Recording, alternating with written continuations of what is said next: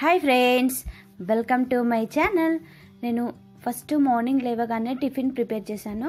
నేను ఈరోజు టిఫిన్ వచ్చేసి పోహా ప్రిపేర్ చేశానండి.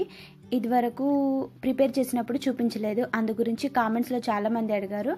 అందుకే నేను రెండు కప్పుల లావు అటుకులు తీసుకున్నాను. దొడ్డు అటుకులు అంటారు కదా వాటిని తీసుకొని ఒక గిన్నెలో కొన్ని వాటర్ పోసి నానబెట్టాను. దాదాపు వీటిని వచ్చేసి నేను టూ మినిట్స్ నానబెట్టుకున్నాను. టూ మినిట్స్ నానిన తర్వాత మనకు అటుకులు ఇలా అవుతాయి. ఇలా కొద్దిగా నానితే సరిపోతుంది. మరీ నానబెట్టుకోకూడదు. ఎక్కువసేపు మెత్తగా అయిపోతాయి. మనం పోహా చేసుకోవడానికి ఈజీగా ఉండదు. ఇలా నానబెట్టుకున్న తర్వాత ఇందులో ఉన్న వాటర్ మొత్తం వంపి ఇలా ఒక జాలి ఉన్న ప్లేట్లోకి తీసుకున్నానండి. ఇలా నానితే సరిపోతుంది మనకు. పోహాకి కావలసిన అటుకులు అనేవి. తర్వాత స్టవ్ మీద నేను ప్యాన్ పెట్టి ఇందులో ఆయిల్ కూడా వేస్తున్నాను. ఇప్పుడు పోహా ప్రిపేర్ చేసుకోవడానికి దీన్ని అటుకుల ఉప్మా అని కూడా అనవచ్చు. ఆయిల్ కొంచెం వేడెక్కిన తర్వాత ఇందులో వచ్చేసి నేను ఫస్ట్ పల్లీలు వేస్తాను. ఉప్మాలో సేమియా ఉప్మాలో ఇలాంటి వాటిలలో పల్లీలు ఫస్ట్ వేస్తే మనకు క్రిస్పీగా ఉంటాయి. అందుకే నేను ఫస్ట్ పల్లీలు వేసి వేయించుకుంటాను. ఇలా పల్లీలు కొద్దిగా వేగిన తర్వాత ఇందులో వచ్చేసి నేను ఇప్పుడు వచ్చేసి జీలకర్ర అలాగే కొద్దిగా ఆవాలు కూడా యాడ్ చేస్తున్నానండి. మనం ఉప్మాలో వేసుకున్నట్టే అన్నీ ఇందులో వేసుకుంటే సరిపోతుంది. చాలా తొందరగా అయిపోతుంది. ఈ రెసిపీ మనం ఎప్పుడైనా టైం లేనప్పుడు ప్రిపేర్ చేసుకుంటే మాత్రం. అలాగే ఇవి ఫ్రై అయిన తర్వాత ఇందులో పచ్చిమిరపకాయలు అలాగే ఉల్లిపాయ ముక్కలు వేసాను వీటిని మనం కొద్దిగా ఫ్రై చేసుకుంటే సరిపోతుంది. మనకు ఎవరైనా ఫ్రెండ్స్ లేకుంటే మన రిలేటివ్స్ వచ్చినప్పుడు టిఫిన్ కావాలంటే ఈ రెసిపీ ప్రిపేర్ చేసుకోవచ్చు. చాలా ఈజీగా అయిపోతుంది. తర్వాత ఇందులో కొన్ని వెల్లుల్లి రెబ్బలు అలాగే కొన్ని కరివేపాకు రెమ్మలు కూడా యాడ్ చేశాను. ఇవన్నీ ఫ్రై అయిన తర్వాత ఇలా ముందు మనం అన్నీ ఫ్రై చేసి పెట్టుకోవాలి. ఇలా ఫ్రై చేసుకున్న తర్వాత ఇందులో వచ్చేసి నేను ఇప్పుడు కొద్దిగా పసుపు వేశాను. మనకు కొద్దిగా అయితే సరిపోతుంది. ఎక్కువ దీనికి ఏమి పట్టదు. పోహా రెసిపీకి వచ్చేసి. తర్వాత ఇందులోనే నేను ఇప్పుడు ఈ అటుకులకి సరిపడా సాల్ట్ అనేది మొత్తం వేసానండి ఇందులోనే పోపులోనే వేసాను ఇలా అన్నీ ఫ్రై చేసుకున్న తర్వాత మనం వడకట్టిన అటుకులు ఉన్నాయి కదా అవి ఇందులో వేసుకొని మనం ఇలా స్పూన్తోని కలుపుకునే బదులు ప్యాన్నే ఇలా అనుకున్నాం అనుకోండి మనకు అటుకులు కూడా మెత్తగా అవ్వకుండా ఉంటాయి విరిగిపోకుండా కూడా వస్తాయండి. ఇలా మనం చెంచాతోని కలిపే బదులు ఈ పోపు అంతా కూడా ఈ అటుకులకి బాగా పట్టాలి. అందుకే మొత్తం మనం మిక్స్ అయ్యేలాగా ఇలా కలుపుతూ ఉండాలి కొద్దిసేపు. ఇలా ప్యాన్తో అనుకుంటే చాలా ఈజీగా అయిపోతుంది మనకు. రెసిపీ కూడా చాలా తొందరగా రెడీ అవుతుందండి. చూసారా? ఫైవ్ మినిట్స్లో దాదాపు మనం ఈ రెసిపీని ప్రిపేర్ చేసుకోవచ్చు. దాదాపు అటుకుల పోహ రెడీ అయిపోయిందండి. లాస్ట్లో వచ్చేసి నేను కొత్తిమీర వేస్తున్నాను. దీన్ని పోహ అంటారు. మేమైతే అటుకుల ఉప్మా అంటాము ఎక్కువ శాతం అయితే. మాకు అదే అలవాటు అన్నట్టు. ఇలా కొత్తిమీర వేసి మనం ఒకసారి బాగా కలుపుకుంటే మన అటుకుల ఉప్మా అనేది రెడీ అవుతుంది. తడి అటుకుల ఉప్మా అంటారు దీన్ని. ఎక్కువ శాతం మేము ఇలానే పిలుస్తాము ఊర్లో అయితే. ఇలా రెడీ అయిన తర్వాత దీన్ని వచ్చేసి ఇప్పుడు మా పిల్లలకు తినడానికి నేను ప్లేట్లోకి సర్వ్ చేస్తున్నానండి. తర్వాత మా పిల్లలు స్కూల్కి వెళ్ళిన తర్వాత నా రొటీన్ అనేది దాదాపు ఇలానే ఉంటుంది. పిల్లలు మార్నింగ్ లేచి స్కూల్కి రెడీ అయి వెళ్ళిపోతారు. వాళ్ళు వెళ్ళిపోయిన తర్వాత నేను బెడ్ అనేది ఇలా ఉంటుంది. ఫస్ట్ వచ్చేసి నేను బెడ్ మొత్తం నీట్గా సర్దుకుంటాను. చూసారా? బెడ్ వచ్చేసి ఇలా నీట్గా సర్ది పెట్టుకుంటాను. నేను ఈ బెడ్షీట్ వచ్చేసి రోడ్డు మీద తీసుకున్నానండి. త్రీ ఫిఫ్టీ రూపీస్కి తీసుకున్నాను. ఇలాంటి రెండు ఉన్నాయి. ఇంకొకటి కూడా ఉంది. ఇది వచ్చేసి వెల్వెట్ బెడ్షీట్. మనకు చలికాలంలో వర్షాకాలంలో వేసుకుంటే చాలా బాగుంటుంది. వెచ్చగా ఉంటుంది. నేను కామెంట్స్లో అడిగారు. అందు గురించి చెప్పాను.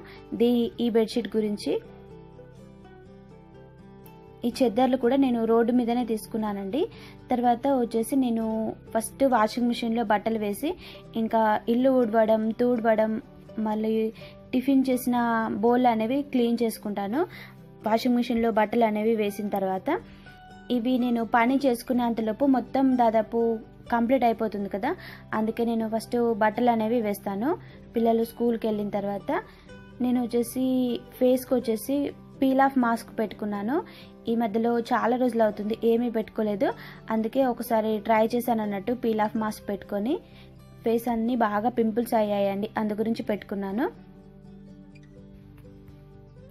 తర్వాత నేను మధ్యాహ్నం లంచ్లోకి వచ్చేసి ఈరోజు బీరకాయ పచ్చడి ప్రిపేర్ చేద్దాం అనుకుంటున్నాను. చాలా రోజులు అవుతుంది ఈ మధ్యలో పచ్చడి ప్రిపేర్ చేయక. అందుకే నేను నార్మల్వి రెండు బీరకాయలు ఇలా పొట్టు తీసి రెడీ చేసి పెట్టుకున్నాను. తర్వాత స్టవ్ మీద ప్యాన్ పెట్టాను. ప్యాన్ కొంచెం వేడెక్కిన తర్వాత ఇందులో దాదాపు ఐదు ఆరు పచ్చిమిరపకాయలు ఇలా చిన్నగా కట్ చేసి వేశాను. మనం పచ్చిమిరపకాయలు ఎప్పుడూ డైరెక్ట్గా వేయకూడదు. మొహానికి పేలుతాయండి. అందుకే ఇలా కట్ చేసి వేసుకోవాలి. వీటిని ఇలా ఫ్రై అయిన తర్వాత ఇందులో లాస్ట్లో కొద్దిగా ఆయిల్ వేశాను. ఇలా మనం పచ్చళ్ళలోకి అన్నీ కొద్ది కొద్దిగా ఆయిల్ వేసుకుంటూ వేపుకోవాలి. ఇలా పచ్చిమిరపకాయలు వేగిన తర్వాత ఇందులోనే కొన్ని వెల్లుల్లి రెబ్బలు వేశాను పొట్టు తీసినవి. ఇలా వెల్లుల్లి వేసి ఫ్రై చేసుకొని మనం ఇప్పుడు స్టవ్ ఆఫ్ చేసుకోవాలి.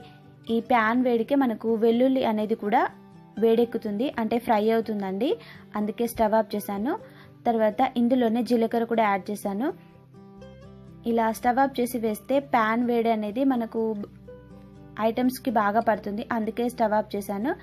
ఇలా స్టవ్ ఆఫ్ చేసి కలుపుకున్న తర్వాత వీటిని వచ్చేసి ఇలా ఫ్రై అయిన తర్వాత రోట్లోకి తీసుకున్నాను దంచుకోవడానికి. తర్వాత ఇదే ప్యాన్లో వచ్చేసి మళ్ళీ ఒక స్పూన్ ఆయిల్ వేసానండి ఆయిల్ కొంచెం మళ్ళీ వేడెక్కిన తర్వాత ఇందులో నేను కట్ చేసి పెట్టుకున్న బీరకాయ ముక్కలు వేశాను. ఇలా బీరకాయ ముక్కలు వేసి మనం ఒకసారి బాగా కలుపుకొని కొద్దిసేపు ఫ్రై చేసుకోవాలి. బీరకాయలైనా మనకు సోరకాయలైనా దాదాపు బెండకాయలైనా చాలా తొందరగా ఫ్రై అవుతాయి. ఇవి వెజిటేబుల్స్. మీరు ఎలా కావాలంటే అలా చాప్ చేసుకోవచ్చు. నేనైతే తొందరగా దంచుకోవడానికి వీలుగా ఉంటుందనేసి ఇలా చిన్నగా చాప్ చేశానండి బీరకాయ ముక్కలు అన్నిటిని కూడా. చూసారా? మనకు బీరకాయ ముక్కలు కొద్దిగా ఫ్రై అయ్యాయి. ఇంకా కొద్దిగా మనకు ఫ్రై అయితే సరిపోతుంది. ఇలా ఫ్రై చేసుకోవాలండి. బీరకాయ ముక్కలన్నిటినీ కూడా.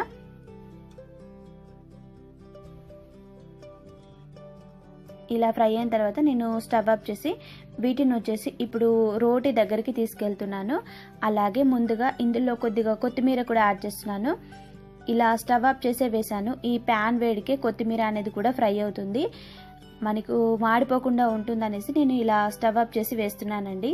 అన్నీ కూడా. మీరు కూడా ఈ రెసిపీస్ అనేవి ఇలానే చేస్తే నాకు కామెంట్స్లో చెప్పడం మాత్రం మర్చిపోవద్దండి.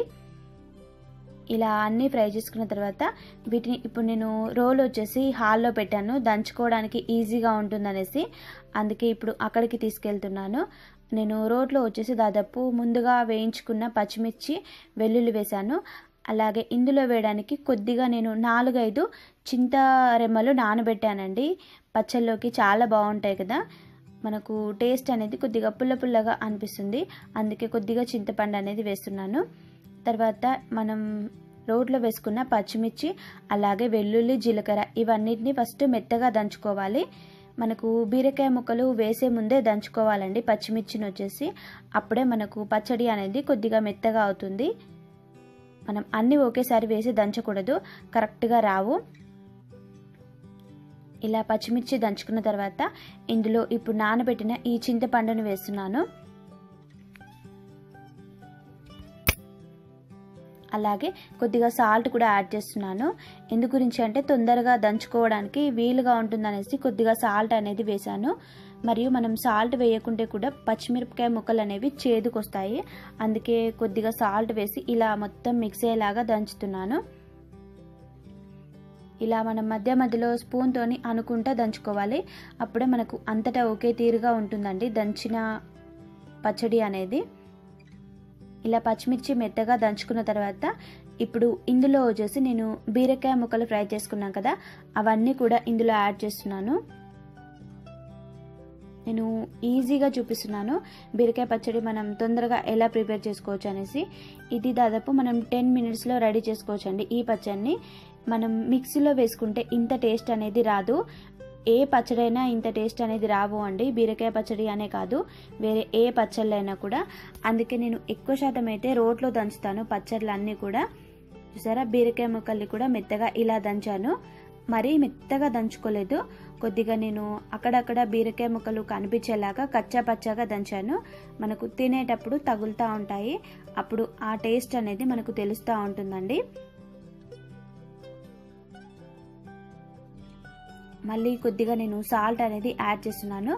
ఫస్ట్ పచ్చిమిరపకాయలు వేసిన తర్వాత కొద్దిగా వేసాను కదా సరిపోలేదు అనేసి మళ్ళీ ఇంకా కొద్దిగా వేసానండి. బీరకాయ పచ్చడికి సరిపడా మొత్తం వేసాను ఇప్పుడు ఇందులో. ఇలా వేసి మళ్ళీ మనం ఒకసారి స్పూన్తోనే కలుపుకున్న తర్వాత ఇంకా కొద్దిగా మనకు మెత్తగా అయ్యేలాగా దంచుకోవాలి. ఈ పచ్చడిని వచ్చేసి మనం దాదాపు అన్ని పచ్చళ్ళు ఇలానే ప్రిపేర్ చేసుకోవచ్చండి. సోరకాయ పచ్చడి టమాటా పచ్చడి ఇంకా వంకాయ పచ్చడి బెండకాయ పచ్చడి. ఇంకా ఏమైనా మీకు రోటి పచ్చళ్ళు కావాలంటే నాకు కామెంట్స్లో చెప్పండి. నేను అన్నీ చూపిస్తాను మీకోసం చేసి. ఇలా దంచుకున్న తర్వాత దీన్ని వచ్చేసి నేను ఇప్పుడు ఒక బౌల్లోకి తీసుకుంటున్నాను. ఇలా దంచుకున్నాను చూసారా? దీన్ని మనం డైరెక్ట్గా తినేయచ్చు. అందుకంటే అన్ని ఆయిల్లో ఫ్రై చేసుకున్నాం కదా. ఇంకా పోపు వేసుకున్నాం అనుకోండి టేస్ట్ అనేది చాలా బాగుంటుంది. నేను పోపు వేయడానికి మళ్ళీ స్టవ్ మీద ప్యాన్ పెట్టి ఇందులో కొద్దిగా ఆయిల్ కూడా వేశాను. ఆయిల్ కొద్దిగా వేడెక్కిన తర్వాత ఇందులో ఫస్ట్ వచ్చేసి నేను ఎండు మిరపకాయలు వేసినాను కొంచెం స్పైసీగా ఉండడానికి. ఇవి ఫ్రై అయిన తర్వాత జీలకర్ర వేశాను. అలాగే కొన్ని ఆవాలు కొన్ని కరివేపాకు రెమ్మలు తర్వాత కొద్దిగా పసుపు అనేది యాడ్ చేశాను. ఇలా అన్ని పోపు వేసుకున్న తర్వాత మనం దంచుకున్న ఈ బీరకాయ పచ్చడిని వేసి ఒక్క నిమిషం కలుపుకుంటే సరిపోతుంది. ఇందులో మనకు ఏమైనా పచ్చివాసన ఉంది అనుకోండి అప్పుడు మనం ఇలా ఫ్రై చేసుకున్నప్పుడు ఆ పచ్చివాసన అనేది వెళ్ళిపోతుంది. చాలామంది రోట్లో దంచుకున్నాక వెంటనే డైరెక్ట్గా తింటారు. కాకపోతే నాకు ఇలా పోపు వేసుకుంటేనే తిన్నట్టు అనిపిస్తుంది. అందుకే నేను ఇలా పోపు చేసుకుంటానండి. మీకు నచ్చితే వేసుకోండి లేకుంటే లేదు. ఇలా కొద్దిసేపు ఫ్రై చేసి నేను స్టవ్ ఆఫ్ చేశాను. దీన్ని వచ్చేసి ఈరోజు నేను రైస్లోకి సర్వ్ చేస్తున్నాను. మీరు రోటీలో కూడా సర్వ్ చేసుకోవచ్చు. చాలా బాగుంటుంది రోటీలో కూడా. అలాగే నేను మార్నింగ్ వచ్చేసి కొద్దిగా బీరకాయ పప్పు కర్రీ కూడా ప్రిపేర్ చేశాను.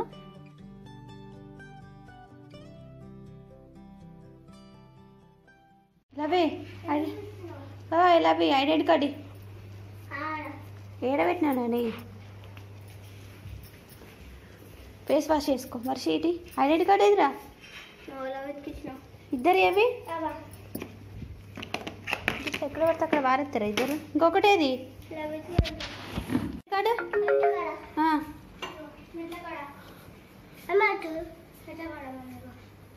బుద్ధి లేదు నీకు. కొంచెం కూడా. ఫేస్ తుడుచుకోమన్నాడు ఏడ పడతా? అన్నీ ఇప్పేసిన బట్టలు పొట్టి. ఓ చిన్న పొట్టి. చిన్న పొట్టి. ఏం చేస్తున్నావు? ఓ కాదే పిచ్చాయిగా అది కాదు అది వేరేటిది. వేరేటిది ఇంకోటి. నేను తీసిస్తలే అది ఉరికేనప్పుడు వేసుకోవడానికి ప్యాంటు చినుగుతుంది నైట్ ప్యాంట్ వేసుకో? వేసుకోవాలి ఇంటికాడ ఉన్నప్పుడు నైట్ ప్యాంటే. జేజ ఎక్కడ ఉన్నాడు అన్ని వేయినాయి జేజలు. పోయినాయే. అరే. అవునా?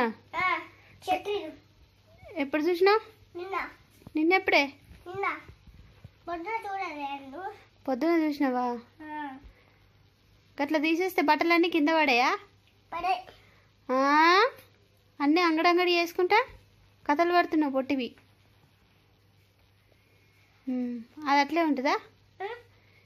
దెబ్బలు పడతాయి నీకు ఇక నేను తీసిస్తలే దా. ఏది? ఏ? అప్పు ఫస్ట్ హోంవర్క్ వేసుకున్న తర్వాత ఆడుకోవాలి అవే కానీ. Triangle one two three four ఇక్కడ four four four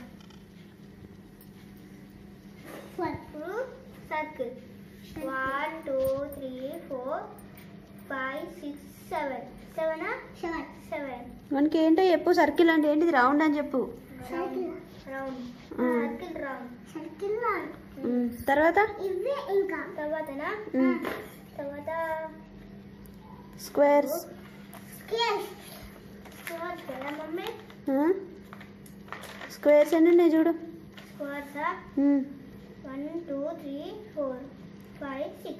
అవి రెక్టాంగిల్స్. రెక్టాంగిల్స్ సిక్స్ ఉన్నాయి. కౌంట్ చేసినావు కదా? రెక్టాంగిల్స్ పెట్టు. రాయిలు అవి?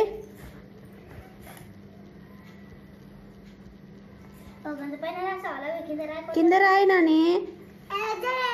ఆగో చూడు. స్క్వేర్స్ అని లెక్క పెట్టు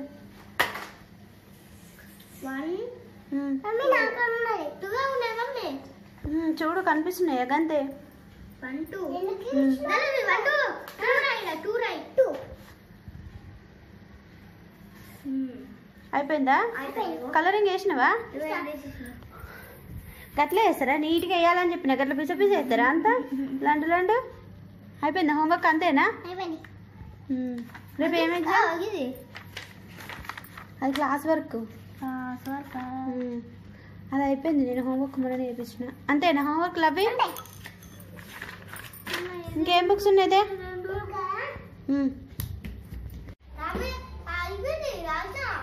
ఇప్పుడు హోంవర్క్ అయిపోయిందా మొత్తం ఓ ఇవన్నీ కాదు ఈ స్కూల్లో అమ్మ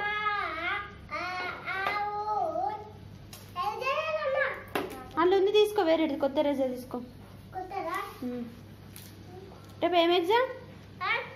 తెలుగు అందుకే తెలుగు రాయి ఆ నుంచి అమ్మ కదకనా చక్కగా రాయి మరి ఫాస్ట్ చూడు చూడు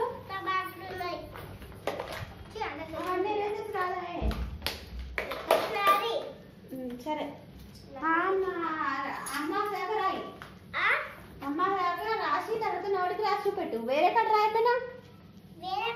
ఆ, వేరే కాడ రాయిపోయినా?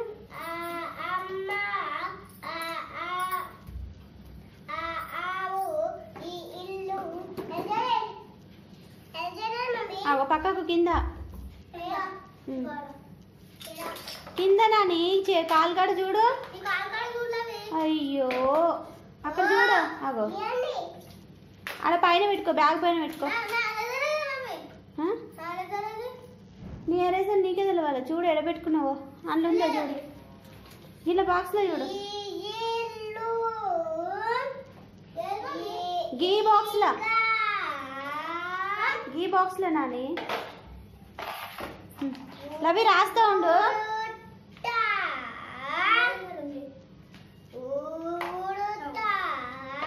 నువ్వు రాయి అది రాంగు ఫస్ట్ ఒకటే ఉంటది కరెక్ట్ రాయి చూసుకుంటాను రమ్మన్నా పాప్కార్న్ వేసుకురా అన్నా? ఇద్దరికి. పాప్కార్న్ వేసుకురా అన్నా? లవి నువ్వు బుక్తావా పాప్కార్న్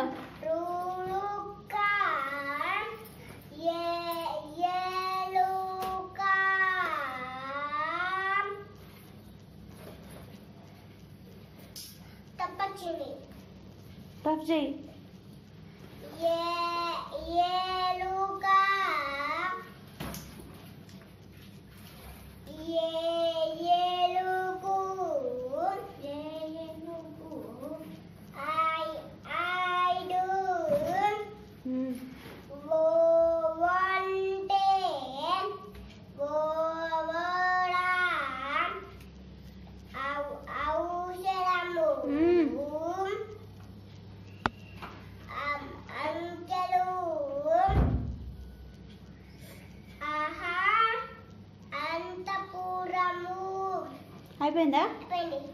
రేపు ఎగ్జామ్ రాస్తావు కదా మళ్ళీ నోటికి?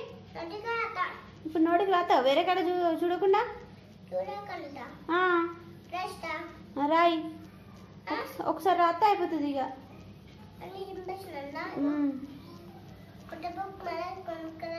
కొనుక్కొద్దంతే నీకు కొత్తది. ఇంకొకసారి నోటికి రాయి ఇక్కడ. నోటికి రాసి ఆడుకోపోయి ఇంకొకసారి రాసి. పడతాయి పడతాయి. ఏడుంది చూడు. పేపరా? ఉమ్. అన్నగో అన్నయ్య అన్ని గీకి నువ్వు పిచ్చి పిచ్చి గీతలు పిచ్చి ఇక్కడ రాయి. ఇక్కడ సరే ఇక్కడ రాయి. ఒకసారి రాస్తే అయిపోతుంది ఇక. రాస్తా. నోటికి రాసి నాకు చూపెట్టు. నోటికి రాస్తా ఉమ్, సరే. అమ్మ